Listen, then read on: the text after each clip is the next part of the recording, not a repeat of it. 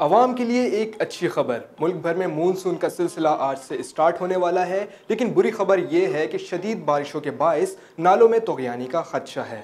खबर की मुकम्मल तफसीत जानने के लिए अभी हमारे चैनल को सब्सक्राइब कीजिए और ताज़ा तरीन अपडेट्स हासिल करने के लिए बेल आइकन पर ज़रूर क्लिक करें। तो नाजरीन, आवाम के लिए अच्छी खबर आ गई है। मुल्क भर में आज से मानसून के सिलसिले का आगाज़ होने जा रहा है। मुल्क भर में मानसून बारिशों का आज से आगाज़ होगा। डिजास्टर मैनेजमेंट अथॉरिटी ने मानसून के दौरान नालों में तोगयानी के खदशे का इजहार करते हुए अलर्ट जारी कर दिया।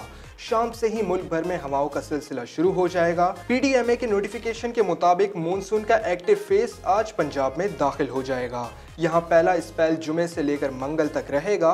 मूसलाधार बारिश से हफ़्ता और इतवार को पंजाब, खैबर पख्तूनख्वा, कश्मीर के मुकामी नदी नालों और पिशावर, रावलपिंडी, गुजरावाला, फैसलाबाद और लाहौर में सैलाबी सूरत हाल का सामना करना पड़ सकता है। महकमा मौसमियात ने इस साल 20 फ़ीसद ज़्यादा बारिशों की पेशन गोई की है। तर्जुमान के मुताबिक आज शाम बारिश का सिलसिला शुरू हो जाएगा। तहम चंद इलाकों में सिर्फ़ आंधी चलेगी।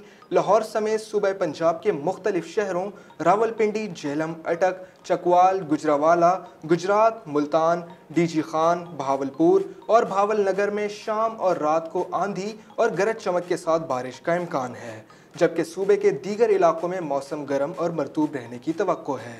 तो नाजरीन, आज से मुल्क भर में मानसून की बारिशों के सिलसिले का आगाज़ होने जा रहा है, लेकिन नदी नालों में तोगयानी के खदशात को लेकर आप हुकूमती इकदाम को लेकर क्या कहना चाहेंगे? कमेंट सेक्शन में अपनी कीमती राय हमसे ज़रूर शेयर करें, क्योंकि आपकी राय हमारे लिए मायने रखती है। देखते रहिए रेड बॉक्स टीवी